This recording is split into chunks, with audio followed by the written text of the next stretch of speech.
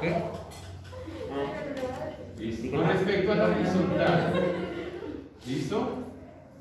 45 grados, ¿cierto? Le vamos a dar una magnitud de bueno, 4K, ahí está. Vector A, una medida de 4K. Lo mismo, la K simplemente son unidades. Es. Y se utiliza la misma fórmula que la anterior.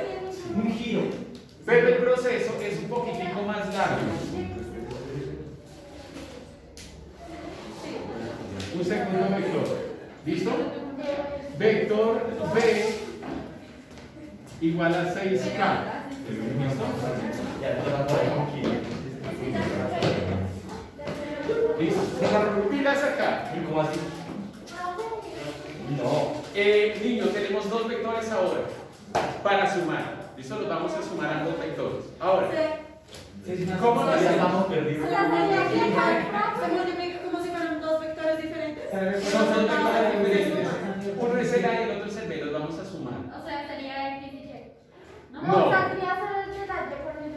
No, cada vector, cada vector como está en diagonal, tiene su componente tanto en X como en Y. ¿Listo? No es que uno lo tomamos para X y el otro para Y. No, cada uno tiene su componente en X y su componente en Y. Lo que hay que hacer es tal cual. Descomponerlos para X, descomponerlos para Y. Exactamente. Entonces, dice lo siguiente, piles, dice acá, eh, vector A en X. ¿Cómo sería entonces? Tal cual, vector A. Diría entonces la medida de A, mi vector A, multiplicado por el coseno de mi ángulo.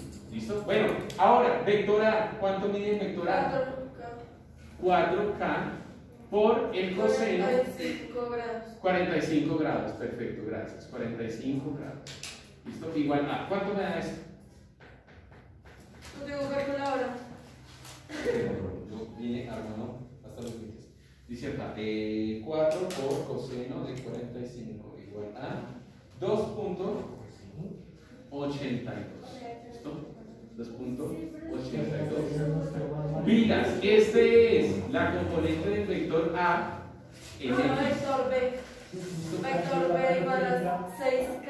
Todavía no. ¿Por qué razón? Porque ahora tienes que encontrar la componente del vector A en Y. Lo sumo. No, no, Dice, vector A en Y. Oh, estamos hablando solamente del vector, de este vector, del azul. El verde todavía no lo hemos tocado, no lo hemos trabajado. Solo estamos trabajando el vector azul. ¿Listo? Solo el vector azul. El verde por ahora ignoren. ¿Listo? Ahora, vector A en Y, ¿qué voy a hacer? Voy a encontrar, ya encontré lo que mi vector azul se desplaza en X. Ahora voy a mirar 45 grados. cuánto se desplaza en Y. ¿Cómo sería? 45 grados por 4K. Sería el vector A, ¿cierto? Por el seno de 45 grados. Listo. Vector A. Eh, ¿Cuánto tiene el vector A? 4K. Por el seno de 45 grados. Entonces, si se dan cuenta, bueno, aquí de hecho era el seno del ángulo.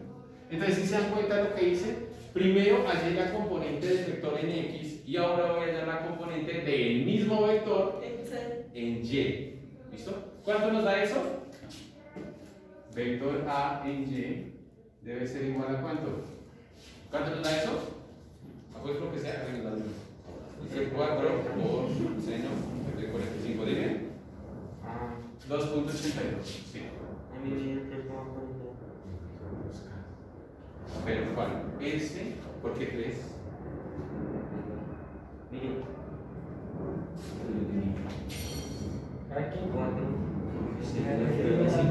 Radianes. Estás trabajando en radianes, por eso es. ¿Y cómo lo pueden? No sé. No. Eh, Calculadora radianes, dale aquí la ¿no? Con el Ah, otro de- se hace- de- con el otro se hace lo mismo. Exactamente, con el otro hacemos exactamente lo mismo. Y esos dos vectores ya, ¿qué hago ahí? Vamos, ya, vamos vamos con calma, listo. Ah, bueno, lo que les venía diciendo en la clase. Vector A para X, componente positiva, componente negativa. Positivo. En X. Positivo. Positivo porque va hacia la derecha, suponemos. Ahora, con respecto a Y del vector A, ¿positiva o negativa esa componente? ¿Por qué positiva?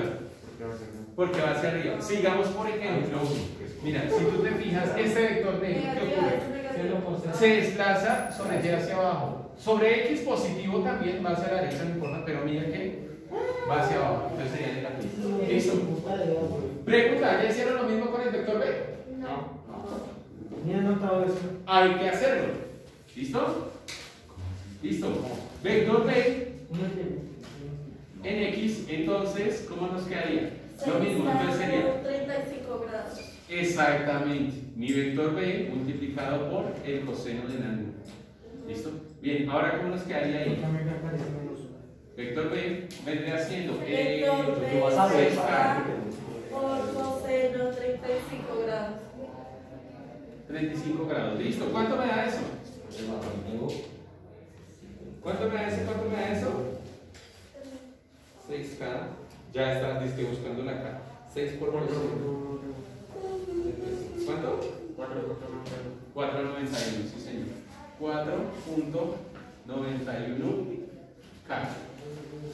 ¿Componente positiva o negativa? Eh.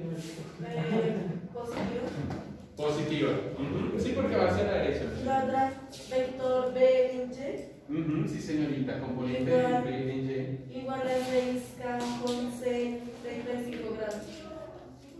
C 35 grados. Seno, sí, exactamente. Seno de el ángulo, que para este caso sería el vector que mide B, que mide 6K. 6K Ay, venga. por el ángulo de que es seno 35 de grados. 35 grados. Listo. ¿Eso cuánto me da? ¿Eso cuánto me da?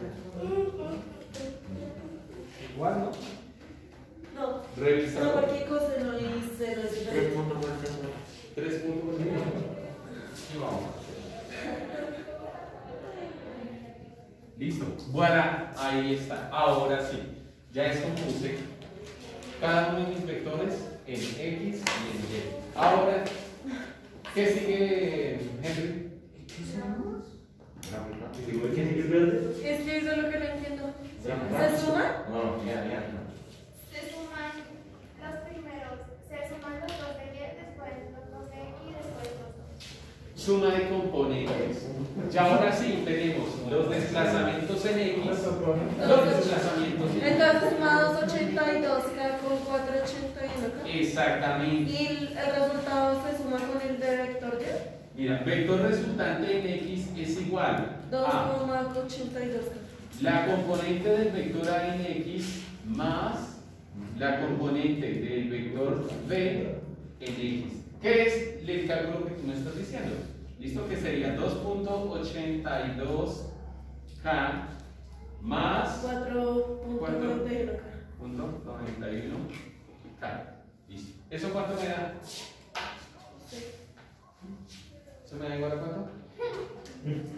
Ay. El otro, el vector de. El vector ¿Cuánto, de. perdón? 7.73. Gracias. 7.73K. Listo. Bueno, ahí Y está. eso sería de. La componente del vector resultante en X. Ok. Ahora, la componente del vector resultante en Y. 2.82. Y los resultados se suman y ya. Vector resultante. Ah, No porque tendrías que tener ambas. tendrían ambas que estar orientadas exactamente igual. No nos sirve porque una está sobre X y la otra está sobre Y. Ah, ok. Pero nos valemos de un paisano por allá, griego el hombre. Vector A en Y más vector B en Y. A ver, ¿quién se acuerda con qué vamos a sumar esta cosa? 2.82. K más 3.44. 3.40. Listo. ¿Eso cuánto nos da? 6.26. Gracias. 26. Listo. Ya. Eso es todo. ¿Se dejan así los vectores? Sí, ya. Ahora, ¿qué vamos a hacer? Nos vamos a sumar por Pitágoras. Lo que se nos formó ahora fue un triángulo rectángulo. Dale, nada. No me apuntes. Ya sigo. ya. La cámara. Eso no se la La bolsa Se echaba. No, Listo, para sacarse la segunda. no,